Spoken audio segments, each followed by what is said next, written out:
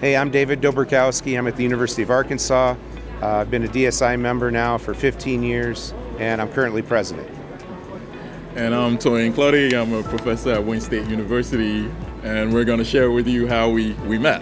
so I was just walking down the hallway, and I was thinking to myself about how important DSI is uh, to me in terms of networking and making connections. And I bumped into my good buddy Toyin here, who I haven't seen in a year or two.